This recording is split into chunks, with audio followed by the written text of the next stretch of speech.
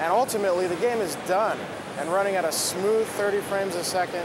Um, and players will be able to pick this up in a couple weeks, have it, enjoy it, not have to wait like they're going to with a lot of these other, you know, big flashy games uh, that are, you know, starting to make people a little anxious. Only the one who can take out an army can break out of hell.